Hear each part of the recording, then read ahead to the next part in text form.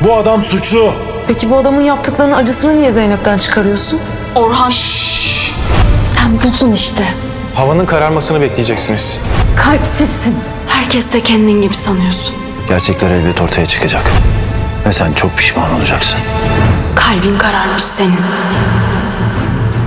Bizim çocukluk evin camını çerçevesini kırmışlar. Yoksa Eyvah tuzak mı diyorsun? sen merhametsiz, zalim, kibirli bir adamsın.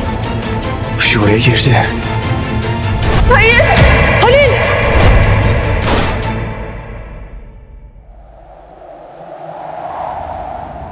Rüzgarlı Tepe yeni bölümüyle yarın akşam Kanal 7'de.